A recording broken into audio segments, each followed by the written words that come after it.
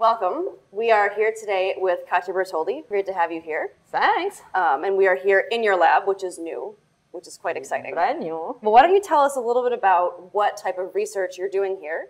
Yes, so I'm interested in structures. But what I'm looking at is how we can exploit geometry of structures to achieve new properties and to design systems whose property can be tuned and controlled on the fly. Interesting. So, what applications would that have in real life? When we think about different structure, we can also think about a configurability. Think of that, for example, for medical application. So surgical devices, you would like to be able to go into the body and then to expand, right, to perform certain tasks. Or think about the ability to, for example, guide the propagation of sound. You would like to be able to basically guide the propagation of sound in certain direction at a given time, and then at a given time, you would like to create a barrier for sound to protect a certain environment. Right. So basically, you want a structure to do one thing sometimes and do something else at other exactly. times. Exactly. There are different ways to achieve reconfigurability, right? One is to program the material itself, so to work basically with the chemistry, right? To basically introduce smart molecules into the material and then to control them with different stimuli. But another approach that we are basically exploring is the possibility to play with very simple materials, but play with geometry to achieve similar effect. And now we are trying to see how much we can push this. Okay, cool. And you brought some of those today. So can yes. you show us how these reconform and, and transform? Yeah, so for example, this is a structure we designed with Chuck Hoberman, that is also a researcher at the Wyss Institute.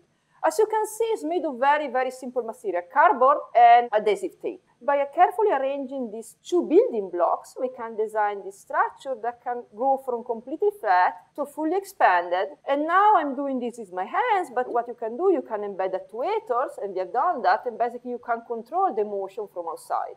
That's really cool. And I can definitely see how that'd be helpful to, for shipping. You know, you want something to lie flat on a truck, and, and then, then, you pop it up. You want to pop it up, exactly. Yeah. And so you can achieve all sorts of transformation by playing with geometry. And clearly, what we did, we developed algorithms to be able to predict this geometry. So, what is it about the Wyss Institute that allows you to do all this interdisciplinary work and collaboration that you might not be able to do in other places?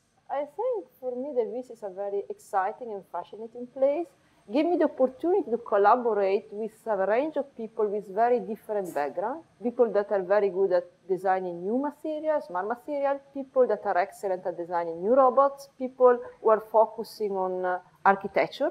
So it's quite unique to have all these people under the same umbrella and also have support to basically pursue all these different research directions. I'm excited about the collaboration I'm having with Joanna and Jennifer, where we try to combine smart material and complex geometries. We have also been working with Connor Walsh, Rob Wood, and George Whiteside. We are mostly helping them with models to predict basically the behavior of these robots.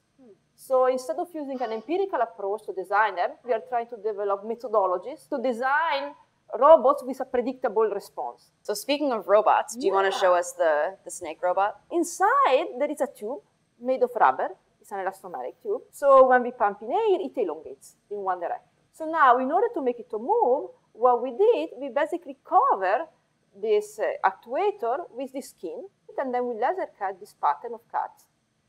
And now what happens is when you stretch, you see the cuts pop up. Opens up a little bit, Open yeah.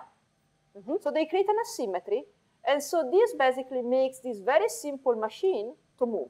Basically, one actuator is enough to achieve a certain movement. So it significantly simplify what is needed to achieve basically locomotion. I know you just had a baby, so I'm sure that that takes a lot of your time. Yeah, we have two babies. Are there any things that you wish that you could reconfigure to make it easier to deal with your two kids? So a stroller could, for my kids. yeah, so if you could reconfigure a stroller, what would you turn it into? I would like something very small that I can pack with me and bring in somewhere something much lighter than what it is because right now, I mean, it's quite heavy. So maybe that's a new project. That's a new project for the future, for sure. Bioconfigurable strollers. well, thank you so much for sharing your work with us today, Katia. It was really interesting. You're welcome.